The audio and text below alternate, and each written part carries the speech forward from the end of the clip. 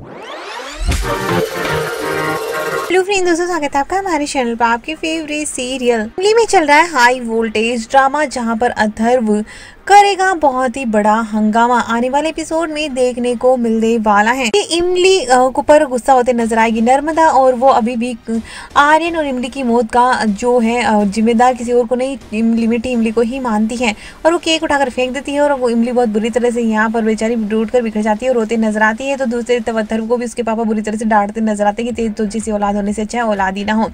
दोनों की हालत सेम होती है। एक तरफ़ यहाँ पर देखने को मिलता है कि अथर्व के पापा को देविका यानी उसकी माँ समझाती नज़र आती है और उसकी बुआ भी कि उसकी शादी का बोझ पड़ेगा तो अपने आप ही सब कुछ सही हो जाएगा। जिसके बाद ने वो लड़की आर्य मतलब कि राठौर परिवार के साथ में रिश्ते को ढूंढते, निकलते, नज़र आएगा और दूसरी तरफ़ देखने को मिलता है। उसके रिश्ते के बाद घर वालों ने यानी कि चीनी के लिए अब यहाँ पर देखने को मिलेगा दोनों ही बहनें एक ही घर में रहती है। तो दूसरी तरफ़ अथर्व को पता चलता है कि कोई लड़की देखने की कोशिश कर रहे हैं, उसके पापा, उसके भाई बहनों से पता चलता है, जिसके बाद में यहाँ पर आएगा ट्विस्ट और उसे कोई लड़की पसंद है, लेकिन फिर भी वो परिवार वालों के लिए उस लड़की को देखने के लिए पहुंचेगा और चीनी और इमली दोनों ही वहाँ नज़र आएँगे।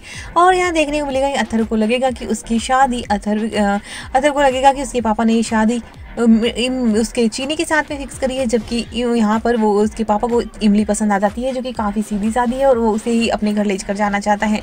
तो देखने को मिलने वाला है कि यहाँ पर एक बार फिर से बहुत ही बड़ा ट्विस्ट आएगा और वो ये कि यहाँ पर शादी तो इमली के साथ ही होनी है और ये एक अरेंज मैरिज होगी, जिसके चलते हुए दोनों में काफ़ी बड़ा यहाँ पर हंगामा होगा। तो दूसरी तरफ़ देखने को मिलने वाला है कि अंतर इस सगाई करने से साफ़ इनकार करते ही नज़र आएगा, क्योंकि वो चीनी से प्यार करता है।